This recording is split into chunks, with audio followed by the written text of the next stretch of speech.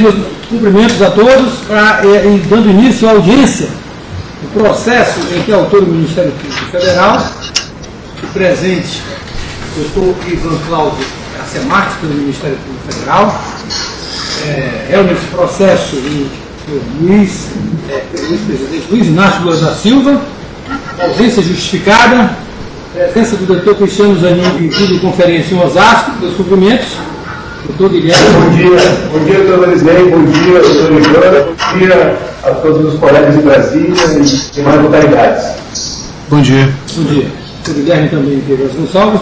Cumprimentos. Marcelo Bahia Aldebrecht. O processo está suspenso, que vai ser ouvido agora. Advogado doutor Tiago Hilbert. Bom dia, excelência. Bem, também bom dia. Bom dia, excelência. Doutor Taiguara Rodrigues dos Santos. É, doutor está presente. Tem algum advogado lá, doutor? Não, só eu. José Mano e Deus Camano também. Bom dia. Bom dia. E Daniel, doutor Daniel também. E nós vamos iniciar então com a Itiba, o senhor Marcelo Bahia Odebrecht. Bom, é, bom dia, doutor. Doutor Marcelo. Bom dia, excelência. Doutor Marisnei, só uma questão. é, eu gostaria respeitosamente de apresentar aquela contradita que tem apresentado é, de praxe, sem o posicionamento de Vossa Excelência, mas pediria apenas para que fosse feito o registro dessa contradita, é, tendo em vista que, ao nosso ver, né, respeitosamente, é, entendo que o doutor Marcelo Brandt tem interesse é, no desdobramento do processo. É, doutor, já está tudo mais, o Ministério Público posicionou contrário outra vez, o senhor mantém, eu aceito. Então já está mais ou menos tudo já mais ou menos escrito, então fica o registro, a mesma decisão do indeferimento da contradita, com as razões né, de que é, é, foram é, delineadas anteriormente, e justamente que eu repito agora para o senhor Marcelo Odebrecht. O senhor aqui é, não- está prestando compromisso não, não pelo, pelo Código de Processo Penal, né, é, testemunha, é, é, é, testemunha dentro desses parâmetros do, do- Código de Processo Penal, senhor Marcelo, mas sim pelo por força da Lei 2.850, de 2013, que diz que o senhor, que todo colaborador tem o, dizer, é, tem o dever de dizer a verdade. O senhor está ciente disso? Sim, excelência. Muito bem, então nós vamos iniciar. Esse, o senhor viu os nomes dos réus, os outros réus que estavam inicialmente nesse processo, houve, eh, e além de também os réus aqui, houve a absolvição sumária de alguns crimes e alguns integralmente, outros parcialmente, por isso que nós estamos aqui com os que estão, foram citados agora. Eu vou passar a palavra ao Ministério Público Federal para iniciar fazendo as perguntas, depois os advogados de defesa, se eu tiver alguma dúvida, eu farei ao final. Pois não. Excelência, apenas uma questão com o do colaborador. Eu gostaria de pedir que ele preste depoimento fora do enquadramento da câmera, a fim de que seja preservada a imagem na forma da lei dos 850, como foi feito em outras audiências. É, isso. Dava só colocá-lo só, eu só estou pegando só para olhá-lo, é isso, se ele puder vir mais para cá, aí a gente. Perfeito. Então, é, é, o- é, então pronto, agora eu sei que é o senhor mesmo, não, não tem outro Marcelo aí com essas características, né? Todos concordam. Então, é, então vamos iniciar, já, já está sem imagem. Doutor bom dia. Todos. Ah, Marcelo, para iniciar, eu queria que o senhor contextualizasse a situação. O senhor foi denunciado nesse processo, posteriormente houve o processo de colaboração dos funcionários da, da sua empresa e a, com a oferta de benefícios. Houve algum anexo específico sobre esse caso? O benefício decorre de um contexto geral? Qual é a situação específica sobre a exportação de serviços pelo BNDES para o Odebrecht? É, esse caso, é, eu não tinha, na verdade, falado nada porque eu não tinha me envolvido. Eu, na verdade, é o seguinte, eu não tive nenhuma relação com esse assunto do- da contratação do sobrinho. E o que eu soube, eu soube depois. É, e como eu também não era responsável pela relação com o presidente Lula, então, na verdade, isso nem constava nada nos meus anexos. Quando é, veio a denúncia, eu ainda não tinha fechado a sua colaboração, eu apenas citei num dos meus anexos o que eu sabia. E o que era basicamente era o seguinte, que eu tinha escutado é, do nosso diretor de Angola, posteriormente aos fatos, que tinha havido essa solicitação de apoio. Ponto final. Foi o que eu citei, porque na verdade eu não tive nenhum envolvimento é, nesse assunto, nem mesmo tive domínio dos fatos, entendeu? Solicitação de apoio, pode esclarecer melhor? Não, o que eu soube é, foi por volta de 2011, é, Ernesto Baiardi, que era o nosso diretor lá em Angola, ele me, ele me alertou, comentou comigo, que houve um pedido de Lula, não sei se a meu pai ou Alexandrino, para que nós é, pudéssemos subcontratar o sobrinho dele lá em Angola. É, eu, eu não sei se nesse mesmo comentário ou no seguinte, ele me avisou que na verdade tinha rescindido todos os contratos. É, no fundo, ele me, ele, me, ele me comentou isso porque, como os contratos foram rescindidos, ele tinha receio de que o Lula viesse a comentar com meu pai e esse me procurasse. Então, basicamente, isso é o que eu sou. Eu sou todos os fatos, não tive nenhum envolvimento. É, tempos depois, é, eu soube através de Alexandrino, aí sim eu soube diretamente através de Alexandrino, que houve um novo pedido é, de apoio por conta das dificuldades que o sobrinho estava tendo, a questão dos contratos e tudo mais. É, e nesse, como eu, eu já sabia essa altura do caso anterior, eu desincentivei Alexandrino a fazer qualquer tipo de acordo. É, tudo que eu. Aí eu soube, eu não sei se foi feito ou não, algum tipo de acordo nesse segundo momento. É, posteriormente, mas aí eu não posso confirmar nem quem me falou, eu acho que foi um advogado meu que me falou durante a colaboração, é, de que a gente tinha feito algum tipo de acordo nesse segundo momento, mas então não tem como dizer, eu nem sei quando nem por que eu soube isso.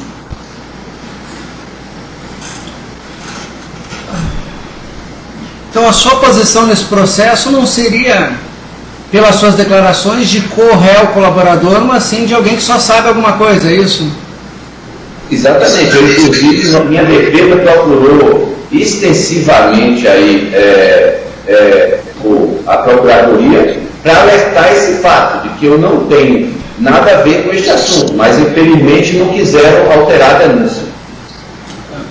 Voltando um pouco na lógica da denúncia, a lógica da denúncia se baseia que essa exportação de serviços para o exterior foi feita também visita, uh, visando a facilidade de superfaturamento das obras lá. Qual foi a sua posição, a posição da empresa na colaboração a respeito dessa possível, desse possível superfaturamento?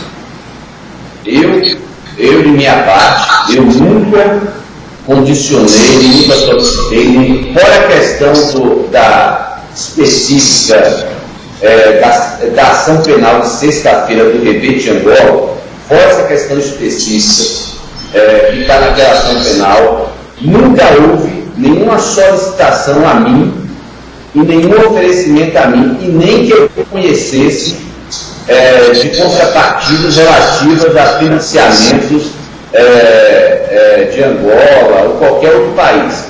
Eu sempre disse que a questão do financiamento da exportação não havia nenhum crime nisso, e, na minha opinião, o que se fez no Brasil ao criminalizar o financiamento de exportação, isso sim, para mim, foi um crime.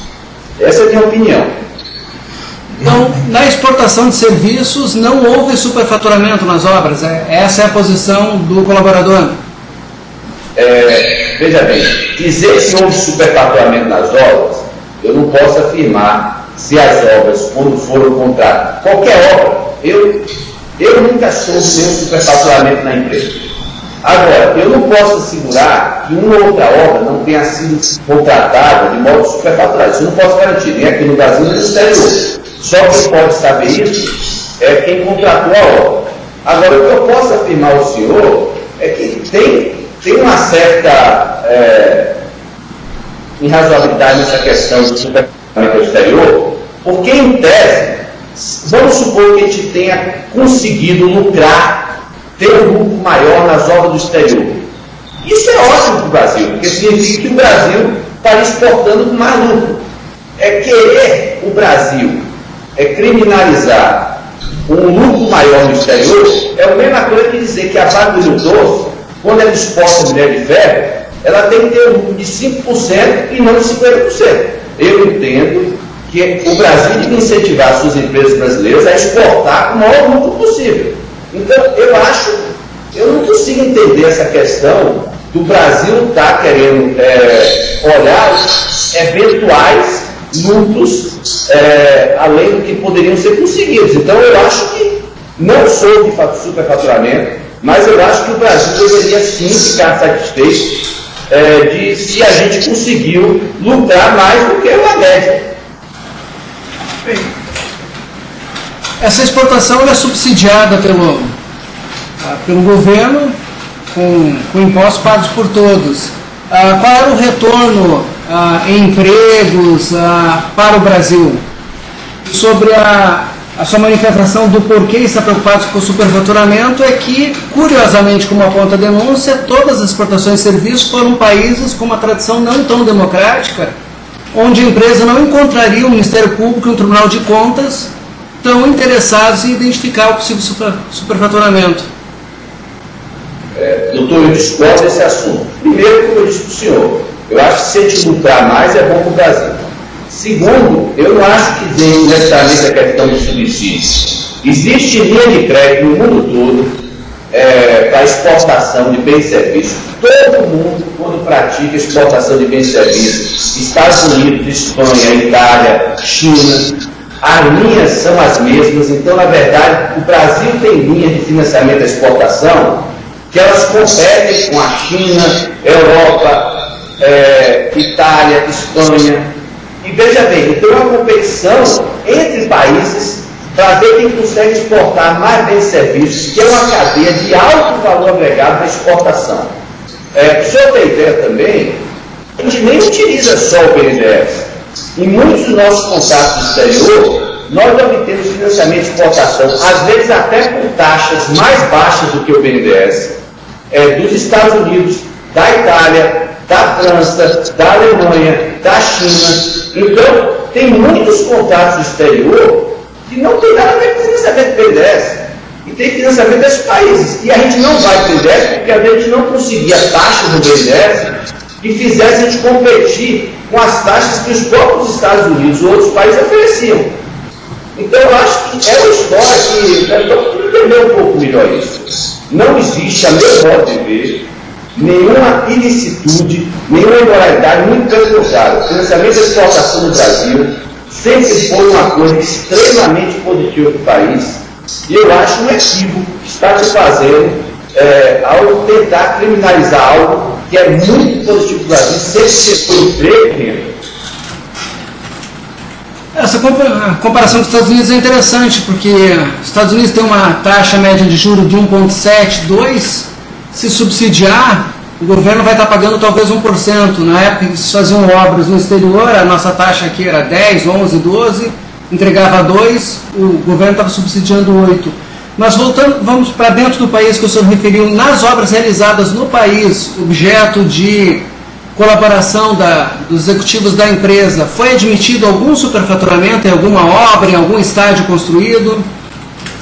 É, é, eu não conheço a colaboração dos outros Tá? E a colaboração do, dos colaboradores exteriores está sob sigilo que eu saiba. Agora, eu não sou de nenhum superfaturamento reconhecido. Agora, é, isso foi o que eu sou, mas eu tenho conhecimento. E eu, de minha parte, é, nunca tive conhecimento de nenhum superfaturamento exterior, e nem aqui no Brasil. Ah, mas a, a, lógica da cooperação, da colaboração aqui no Brasil, digamos então, para fugir desse assunto do exterior, era o de que houve pagamento de propinas, correto? É, veja bem, o próprio Ministério Público lá está vendo aí na mensagem da Intercept, está saindo, é, veja, veja que consistência, o próprio Ministério Público naquela mensagem já sinaliza que ele mesmo reconhece que a questão de propinas é o mínimo. Só que, infelizmente, da maneira que foi divulgado, parece que foi. Eu discordo dessa quantidade de propina que disseram que havia, nunca soube que havia, eu sempre soube, reconheço, que havia muito caixador. Caixador no Brasil era uma prática. Eu dizia que não tinha campanha no Brasil feita sem caixadores, tá? Isso aí é, é verdade. Agora, eu acho que transformar esses caixadores, que era uma prática, digamos assim, tinha um instituto eleitoral, reconheço ela, transformar esse, todos esses caixadores em propina é criminalizar a política no Brasil de uma maneira, meu modo, bem equivocada. Então, a mim eu respondo pela minha colaboração e pelo que eu falei. É, agora, se pessoas acertaram propinas e disseram que acertaram, é porque eles têm que responder. O que eu posso responder é pela minha colaboração. Não, perfeito. Essa sua, essa sua lógica sobre Caixa 2 é interessante e é um ponto de vista jurídico para ser explorado, provavelmente nas alegações finais e tal. Eu estou buscando o contexto fático. Ah, quando o senhor assume que pagaram propina, seja para Caixa 2 ou que seja forma, como é que se recupera esse dinheiro se não for superfaturando obras? É essa parte do contexto fático que eu gostaria de entender, porque tem reflexo nesse processo. Eu vou, eu vou aqui eu vou aqui citar então como exemplo, para ficar claro, já que nesse, aqui, nesse caso não consigo chegar, é a minha ação penal de sexta-feira, que está nesse mesmo juízo. Veja bem, nesse caso foi nos pedido, na medida, foi solicitado o pedido de contrapartida. Nós aceitamos e essa contrapartida saiu do nosso lucro. Ou seja, nós já tínhamos as obras contratadas, não houve superfaturamento, e a gente simplesmente teve que reduzir nosso lucro para pagar o pedido de contrapartida que nos foi solicitado. Na verdade, o que acontece é que é, quando a gente é, aceitava pagar a caixa 2, lucro saía do nosso lucro. Marcelo, eu vou lhe solicitar apenas para esclarecer, porque esse áudio depois vai ser ouvido pelo tribunal, possivelmente. Quando o senhor se refere ao processo de sexta-feira, imagino sexta tenha sido sexta-feira passada, qual era o processo, só para ficar claro para quem for escutar isso? Era a ação do rebate Angola. Que é outro processo. É, os 64 milhões de reais dado ao partido político que são réus, é, no caso dele está suspenso, Sim. o ex-presidente Lula. Não, não, só para esclarecer, porque eu fico imaginando que o tribunal não vai entender nada quando se fala do processo de sexta-feira. Perfeito. Ah, mais um ponto apenas, a questão das palestras. Nessa, ah, nessas obras no exterior, ah, tem vários relatos aqui que o ex-presidente Lula ia com Marcelo Alexandrino em voo jato particular, em tese da Odebrecht, realizava palestras no exterior, onde haviam encontros, depois havia encontros com a presidente, classe política do país. Qual é a sua manifestação sobre isso? Essas palestras eram pagas pelo interesse da empresa? Eu, eu vou aqui explicar o que eu sabia sobre a palestra, agora eu peço aqui, um, a, da mesma maneira que falei aqui na sexta-feira, eu levo de novo. É, infelizmente, aquilo que eu sabia, eu sabia através de Alexandre, meu pai. E os dois têm várias contradições nos depoimentos dele em relação ao que ele me contava à época. Então eu vou dizer para o senhor aqui o que eu sabia à época, mas alertar em relação a essas contradições do que eles me falaram à época do que eles estão dizendo agora no depoimento. Então, agora, dito isso, é, o que eu sabia à época foi o seguinte, que houve é, uma, um combinado do meu pai com meu pai com Lula, ou Alexandrino, meu pai com Lula, não sei ao certo, entendeu? Para se fechar é, algumas palestras é, assim como eu soube, várias outras empresas também no Brasil e no exterior contrataram o presidente Lula para ir palestras. É, qual foi é, realmente a razão pela qual meu pai e essas outras empresas acertaram a contratação das palestras? Eu acho que o mais correto é expulsar diretamente deles. Sim, mas qual era como o senhor referiu contradições, qual era a versão que o senhor sabia que eles haviam lhe passado? Haviam contratado? A... Tinha alguma razão extra? Era para Na verdade, o que eu entendi na época é que havia duas razões, tá? Uma, existia de fato uma intenção de ajudar é, o Instituto Lula, como nós ajudamos o Instituto FHC, se daria através, basicamente, de palestra. Na época do Instituto FHC foi feita uma doação, assim como outras empresas. E havia também, o nosso, pelo que eu entendi também, havia uma percepção nossa, e, e eu, eu comungo totalmente com isso, de que o presidente Lula era uma pessoa que tinha é, uma imagem bastante positiva em vários países que a gente atuava, e, portanto, ao contratar ele e levar ele para uma palestra, era, não deixava de ser um trabalho de relações públicas. Então, eu acho que havia, sim, tanto um interesse, é, digamos assim, de ter esse trabalho de relações públicas, como havia o interesse de, de algum modo, se ajudar o Instituto Lula. Qual é, na, verdade, o peso de cada um desses dois? Aí é só quem decidiu, que foi no caso meu pai, que pode dizer. Perfeito. Ah, pela sua própria narrativa, essa era a visão que o senhor tinha pelo que ouviu deles à época. Mas o senhor referiu também que, atualmente, tanto o Alexandrino quanto o Emílio Degresch estão apresentando versões diferentes. Quais seriam as atuais versões que eles apresentam?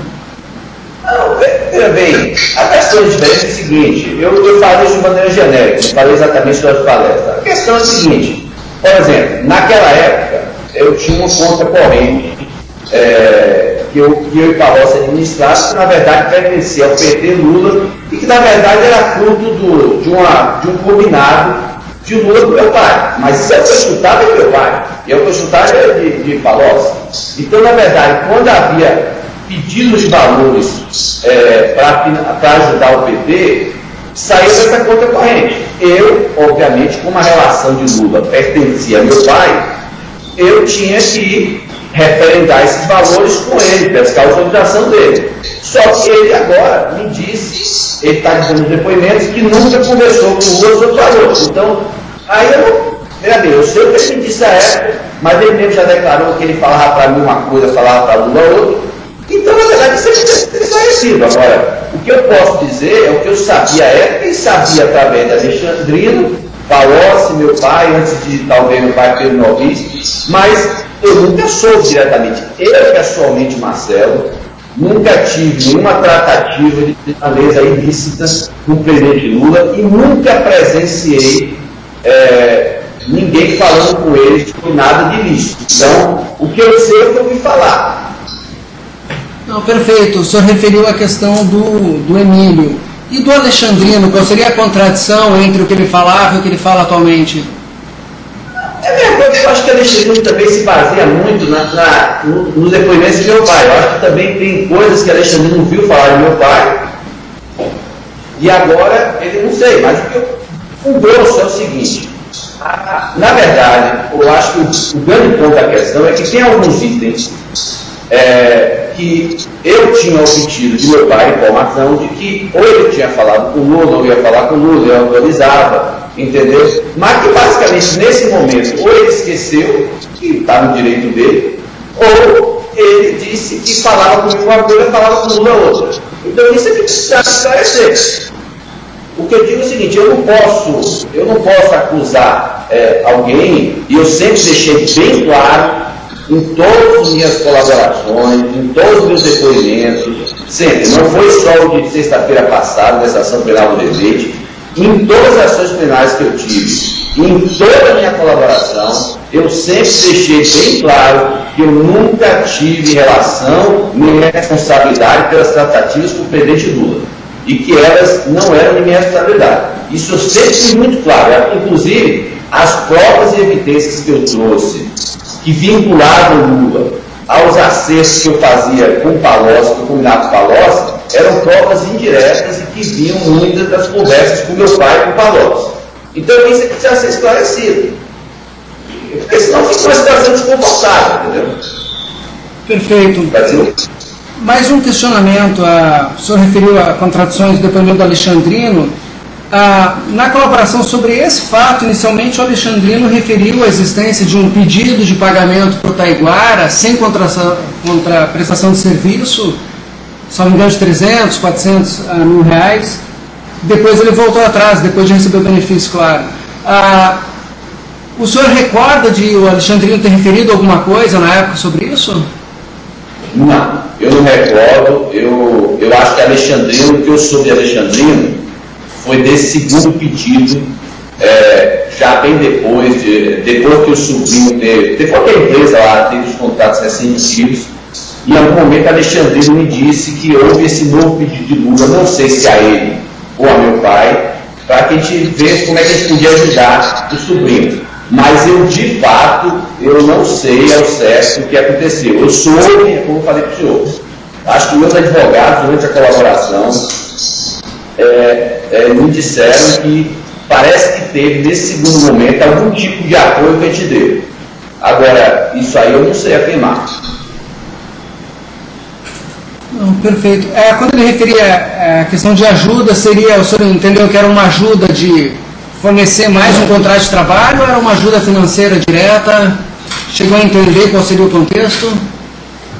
Eu acho que a intenção era mais, é, talvez é contratar ele para um serviço, entendeu? Ou se ele ficou com alguma fatura retida ou alguma reivindicação da obra que tinha que acertar. Eu, eu não me lembro qual, qual foi exatamente o, o, que ele me explicou, até porque na hora que ele me falou isso, e eu já sabia, do, aí essa altura eu já sabia porque a Ernesto tinha me contado, eu ver ele, porque ele disse, ó, Alexandre, isso é um assunto de obra, o que é importante você entender é o seguinte, esse tipo de pedido é, para a gente contratar é, pessoas é, é, é uma coisa extremamente comum. Isso vinha tanto de, de pessoas da, da, mais diversas relações, relações do setor empresarial, relações do setor pessoal, pessoa, relação pessoal sua, ou relação política. Então, esse tipo de pedido para a gente ajudar alguém, contratar alguém, é, até como integrante muitas vezes, não apenas como subcontratista, isso é super comum. Em geral, o que nós fazíamos era que se houvesse oportunidade, a gente dava oportunidade. Agora, se a pessoa não performasse, a gente simplesmente não levava à frente. Então a gente entendia que, digamos assim, o nosso compromisso, se fosse possível, era apenas de dar oportunidade. Mas se a oportunidade não fosse, não fosse bem, digamos assim, performada, a gente não passaria a ter nenhum compromisso com essa pessoa. Ou seja, mesmo as pessoas, nesse caso, que recomendavam, depois não se envolviam. Agora, isso é extremamente comum.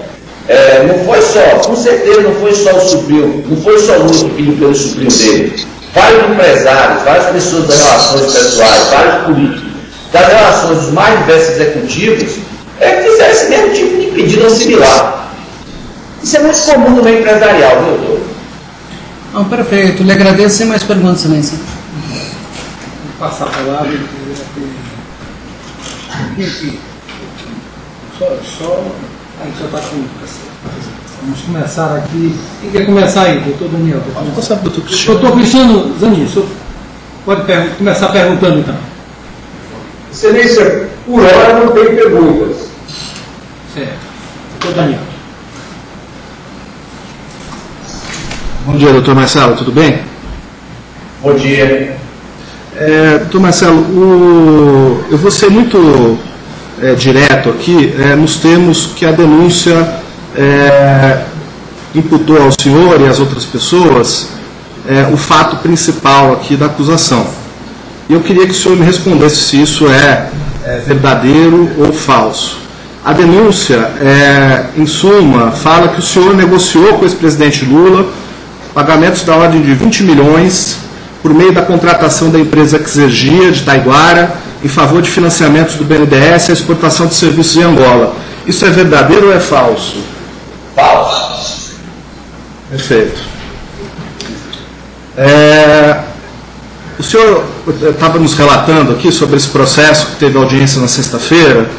É, tem um termo de colaboração que acredito que coincide com o objeto desse processo que o senhor foi ouvido na sexta-feira que fala sobre um pedido de vantagem devida por parte do senhor Paulo Bernardo, no montante de 40 milhões de dólares, em favor da ampliação da linha de crédito do BNDES para exportação de serviços para Angola. Eu acredito que é esse o objeto do processo, que o outro processo que o senhor responde nessa vara, correto?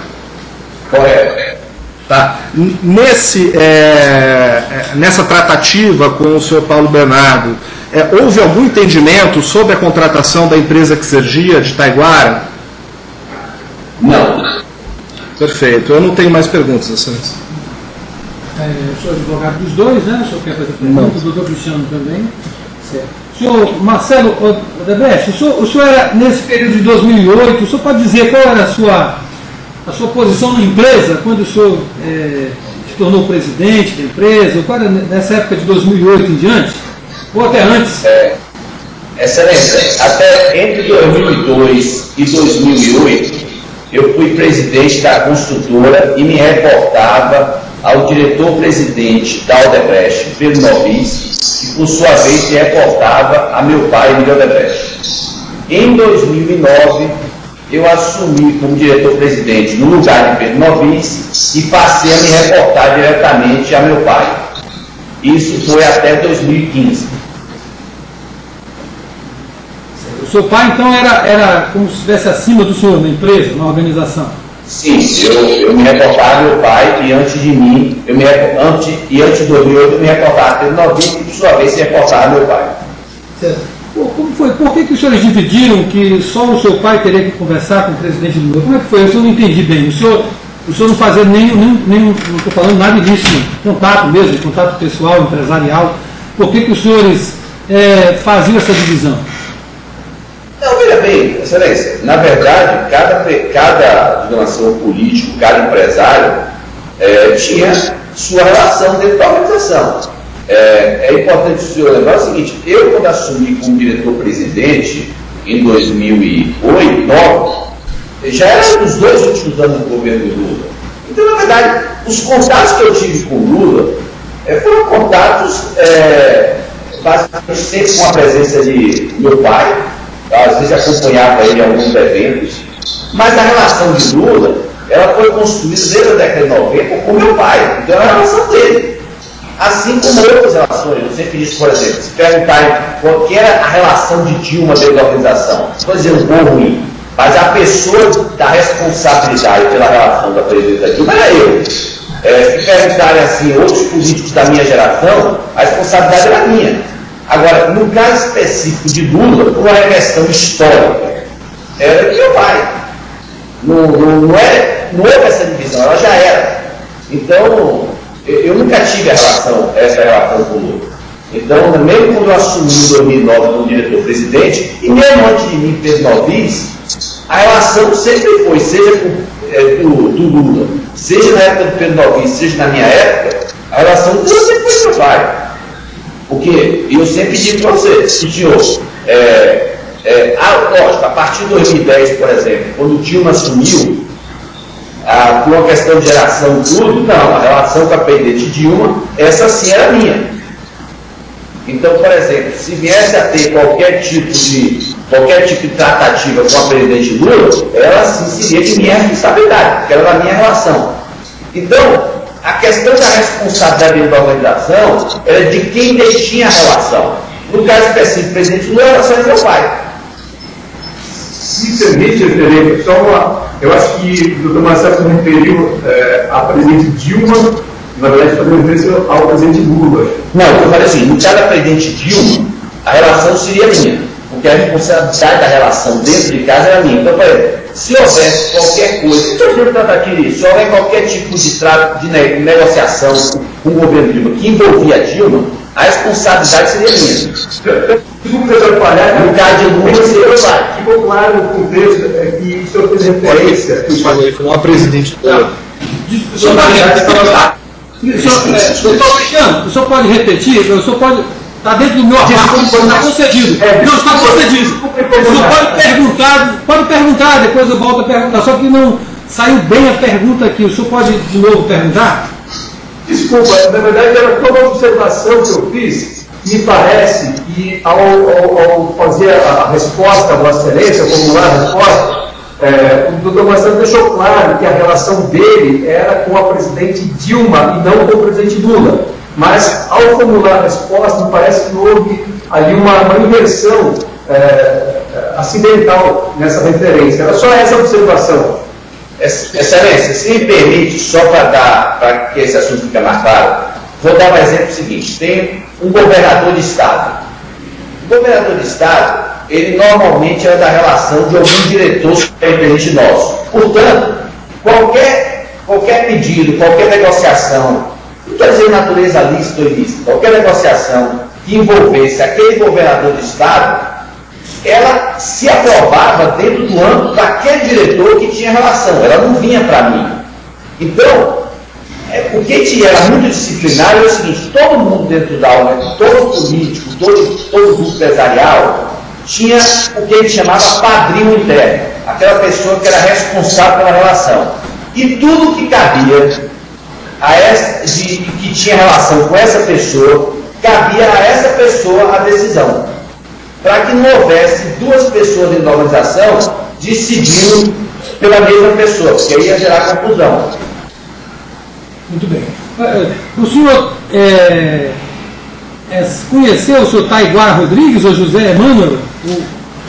Os que estão aí são os réus que estão, que estão aqui na. Estão até aí na, na videoconferência, José Emanuel de Deus Camano Ramos e, e Taiguara Rodrigues dos Santos. Os conheceu em algum momento antes dessa audiência? Excelência, eu tenho quase certeza que não. De repente me encontrei num desses eventos que ia e me apresentaram, mas eu estou olhando aqui, eu tenho quase certeza que não. Não me lembro de ter estado com ele. Ah, o senhor foi a alguma palestra com o ex-presidente Lula acompanhando, se ele foi, se o senhor sabe dizer se ele foi? O senhor chegou a acompanhá-lo em Angola, na, nas palestras? Essa dúvida eu tive, eu não consegui ter certeza não. Eu acho que eu já tive em uma das palestras do presidente Lula na Venezuela. Quando ele foi à Venezuela, eu estive com ele e eu uma viagem que ele fez a Cuba, mas que eu não sei se tem palestra. Eu, eu acho que em Angola eu tenho quase certeza que eu não tive. Mas não posso afirmar com segurança não. O senhor sabe dizer como é que era feito esse pagamento, custear, como é que, como é que era feito é, nessas palestras? Era, o senhor tem conhecimento de como era feito o pagamento? Das ah, palestras do Lula? Se não souber, não tem problema. Se o senhor sabe. Eu não, eu não sei, eu imagino que, que as palestras eram feitas pagamentos diretamente ao Instituto Lula de maneira oficial, porque inclusive o Instituto precisava disso. Agora, o que eu posso dizer para o senhor é o seguinte, inclusive eu já, no, nos autos do, da ação penal do sítio, eu faço referência a isso, e eu apresento e-mails que corroboram isso, o que eu pessoalmente vi foi o seguinte: é, quando chegou mais ou menos em 2010, ou 2010 eu acho, e, e, e, e, eu soube desse combinado de meu pai com o presidente Lula por conta das palestras que a gente iria apoiar, o que eu fiz na minha relação com o Palocci foi dizer assim, pô Palocci, é, meu pai vai. Esse, meu pai vai acertar várias vários apoios financeiros ao presidente Lula, inclusive palestras, apoio de avião. Então, eu combinei com o Palocci, isso eu não avisei, é, é, ou seja, não é para Lula saber disso, é, eu, que a gente estaria fazendo, digamos assim, um desconto, acho que se não me engano foi 15 milhões de reais, na planeta italiana, para fazer frente a esses pedidos que meu pai e Lula estariam combinando. De palestra, de avião, qualquer pedido de doação para o Instituto Lula, mas foi um acerto meio Palocci genérico e que, inclusive, a gente não queria que esse assunto chegasse ao presidente Lula para ele não, não, não, achar que as coisas estavam, digamos assim, sendo cri ou qualquer coisa, entendeu? Mas houve essa referência, mas isso foi um acerto meio de de uma questão genérica em relação a, aos pagamentos que foram feitos ao vendedor. Explico bem essa questão é, nos autos e nas minhas delegações finais do, do ação penal do sítio. Certo. Muito bem. O senhor, é, está perdendo a pergunta agora, mas quero mais ou menos nessa continuidade aí. É, o, o senhor colocou, o senhor é, houve, colocou-se na planilha italiana da qual o senhor se refere, essas, essas palestras, elas ficavam registradas lá com palestra, vamos descontar? Não, como eu disse ao senhor, as, o acerto das palestras não passava por mim, por Palocci, era, é, e portanto não passava pela italiana. O que eu fiz foi, de antemão, quer dizer, ainda antes, já, já sabendo que haveria vários pedidos, e, e fizemos isso. Eu e pelo menos, não iríamos informar isso ao Lula, portanto, esse assunto eu nem tenho total certeza se este assunto eu falei com meu pai, é, mas nós é, fizemos um débito na planilha italiana de 15 milhões de reais para fazer frente a esse, eu acho que foi 15, mas provavelmente 15, para fazer frente a esses futuros pedidos que eu nem sabia qual era. Então, tu não sabia era um palestra. Tu não sabia que era um é. Na verdade, qualquer tipo de pedido. Na, na minha cabeça, o que eu tinha combinado com o Paulo foi o seguinte: havia na. O que é, é o seguinte? Havia na, na conta italiana, havia na conta corrente um valor que na meu combinado com o Palocci, e aí sim, é no meu combinado com meu pai, que aí eu posso dizer como ele tratou isso com o Lula, havia um, haveria um saldo que seria alocado para atender as demandas de Lula, principalmente do Instituto Lula. Tá? Porque a gente, na época, quando o Fernando Henrique saiu, os empresários se reuniram e, e cada um doou um certo valor, inclusive meu pai, para o Instituto da Startup. É, no caso do Lula, houve um incômodo é, dele receber esse dinheiro como o Fernando Henrique recebeu. Mas esse dinheiro ficou reservado. E eu disse, e aí o combinado com Palocci foi que não tinha sentido esse dinheiro não sair dessa conta corrente, inclusive porque no nosso entendimento o Instituto Lula fazia parte, digamos assim, do projeto político do PT. Então, para que não houvesse duplicidade, ou seja, para que é, meu pai não combinasse a ser e não fosse descontado para italiano, e como eu não tinha domínio dos acertos que meu pai fazia com o eu a priori combinei com o Palocci que a gente faria um desconto é, global de 15 milhões, mas sem avisar ao presidente Lula. Como, é, qual foi a diferença entre essa doação para o presidente Fernando Henrique, do Instituto, e do, do Instituto Lula, que o senhor se referiu? Só para ficar claro mesmo que eu não entendi. O senhor falou que ia fazer diferente? Hum. Excelência, esse, esse, assunto, eu inclusive tive a oportunidade de falar é, com o, dire, o diretor do Paulo Camilo. É, na verdade, não deveria haver nenhuma. Mas eu acho que o Instituto meteu os pés pelas mãos é, nisso aí. Por quê? Qual era a intenção que havia? O pre... Vou repetir isso. Na... Quando o presidente Fernandes saiu, ele queria fazer o instituto dele, que era totalmente legítimo. Entendeu? Não houve nada de isso. Reuniu-se. É, ele e várias empresas se reuniram. Eu não sei se reuniram, deve dar um, porque na, na época isso está acertado com meu pai também. E nós demos, assim como outras empresas, uma contribuição oficial ao Instituto Henrique ele colocou isso no fundo, que é o que sustenta o Instituto. Extremamente lícito, a meu ver, legítimo, claro. Essa era a ideia. A ideia que havia, que meu pai me comentou que havia, dele, com outros empresários que ele tinha conversado, e pelas minhas conversas com o Palocci, era, era o que Palocci também defendia, era que se fizesse o mesmo. Ou seja, quando Lula saísse, iria se reunir e vários empresários iam doar para o Instituto Lula.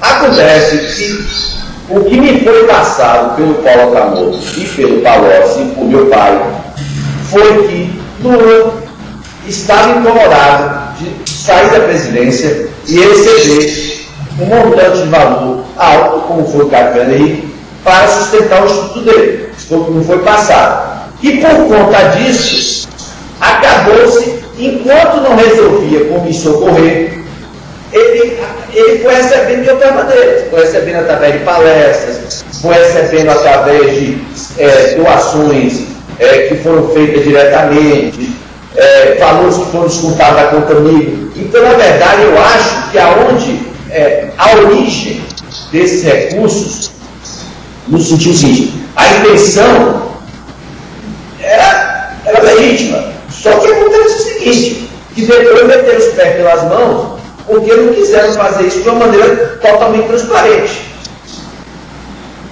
Certo. No, no, é, no caso do, Instituto do Fernando, do ex-presidente Fernando Henrique, foi tudo transparente, não foi nada por. por... Que eu sei, que eu sei foi tudo transparente. Certo. E no, no Instituto Lula também foi transparente, nesse início que o senhor está dizendo, não entendi. Aí é aquela história, não foi tudo transparente, foi é, uma parte, por exemplo, uma parte foi doação oficial, sim, foi transparente, mas tinha a questão das palestras, aí tem que avaliar qual é a transparência ou não. Eu, eu, eu, mas as palestras que eu entendo foram cobradas e foram de nota fiscal. E tem aquela questão que é objeto de outra ação penal, é, que é da ação do terreno. É, que aí sim não foi uma coisa transparente, o terreno do Instituto Lula. Mas isso é objeto de uma ação penal que está em Curitiba. Certo, veja bem, o ponto controvertido das palestras aqui é o seguinte, é porque é, o, o, a, a, defesa, a própria defesa mostrou aqui, que as palestras existiram. É? Ele foi, fez as palestras, aqui nós uma de 2014 de 2010, e o senhor está dizendo aí que foi uma forma de. É, eu não entendi, né? Não sei, de, de, de certo de. Houve um desconto dessas palestras nesses 15 milhões.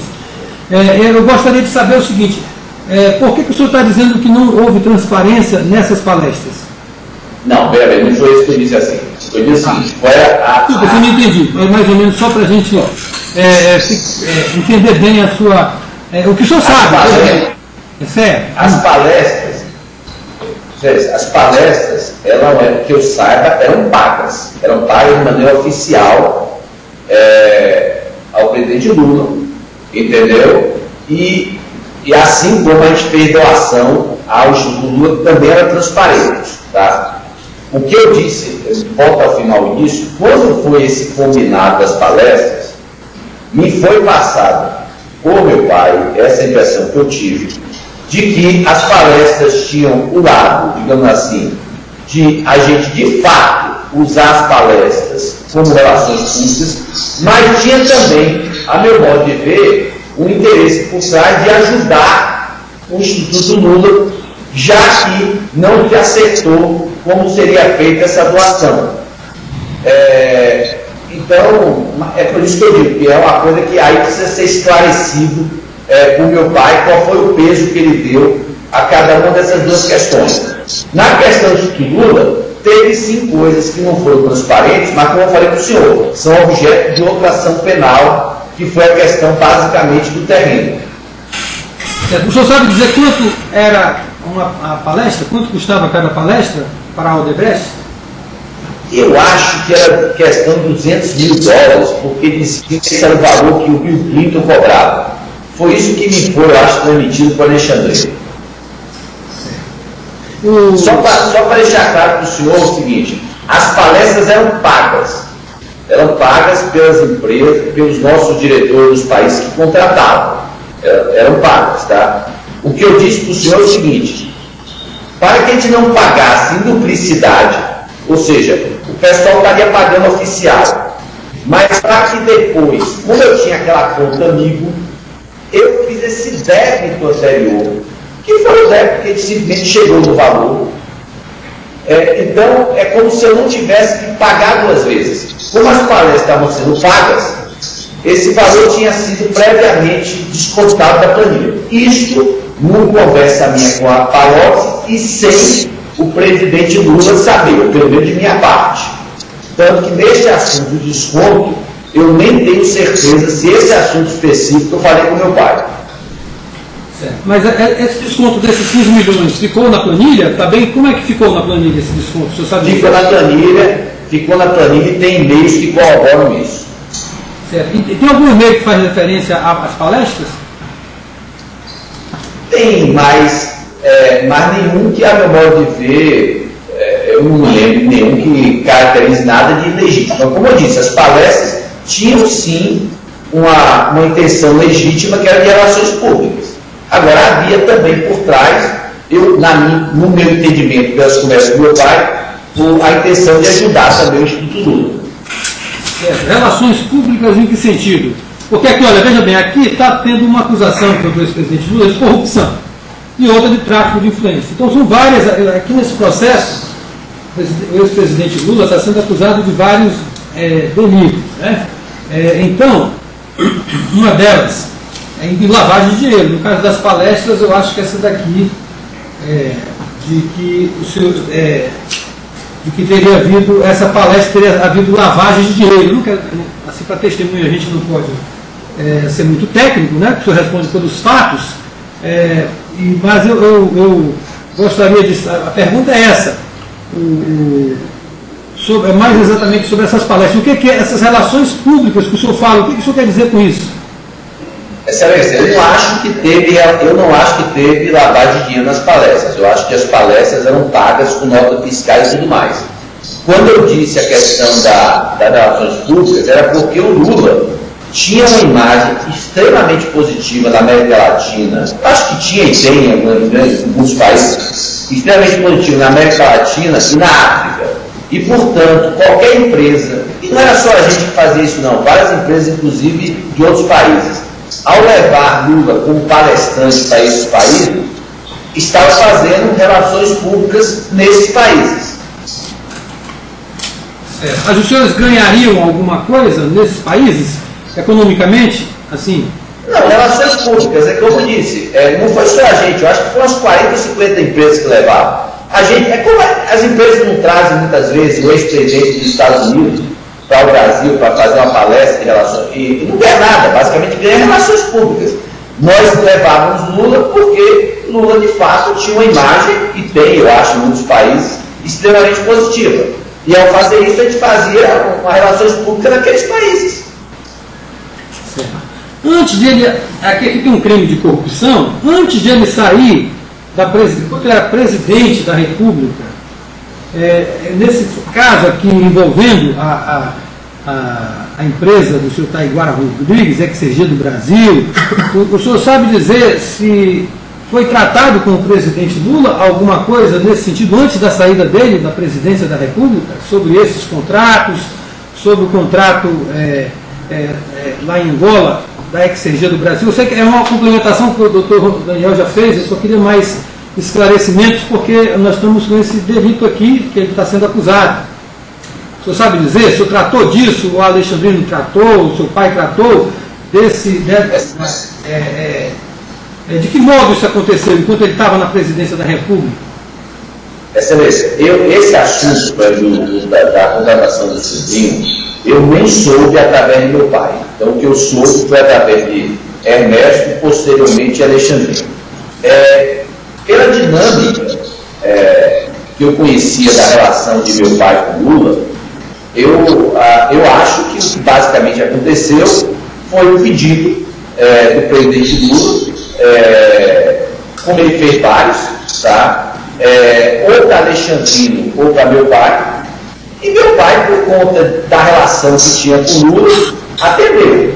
Esse, pelo menos, é meu entendimento. Agora, eu não posso afirmar com certeza. Você sabe dizer se como é que era feito o pagamento para a Exergia nesses contratos? Não tenho. Eu imagino que como qualquer outro subcontratado. Eu acho que não, teve, não deve ter tido nenhuma diferenciação. Certo. O que representava, se tiver correta aqui essa afirmação do Ministério Público, ou aproximada, em 17 contratos, 20 milhões nesse período é, em que a, a Exergia ficou, que era, era um volume muito pequeno para a empresa? ou ela era, era, um, era um volume é, considerável nesses contratos?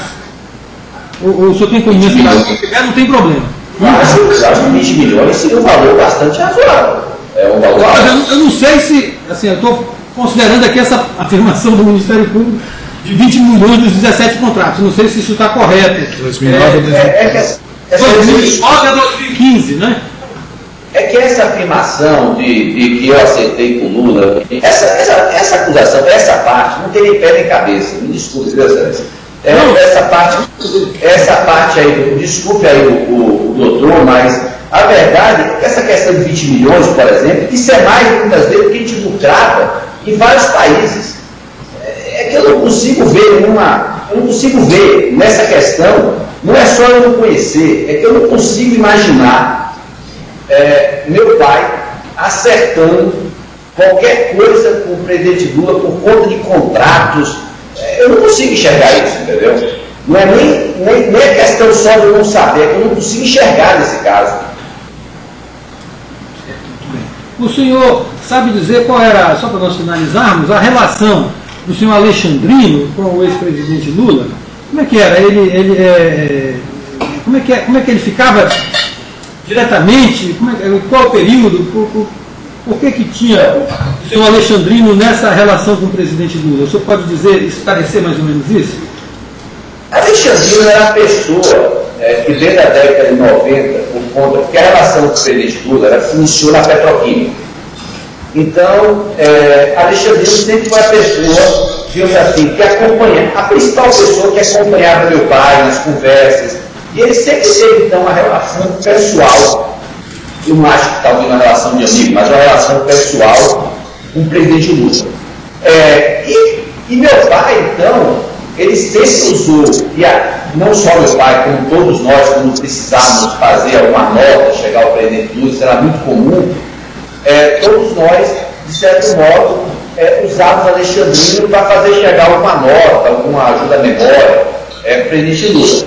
A impressão que eu tenho é que durante o governo, enquanto o presidente Lula era presidente, até por uma questão da formalidade é, é, do posto, quer dizer, aí, né, durante esse período, de 2012 a 2010, eu acho que a relação mais direta foi com meu pai.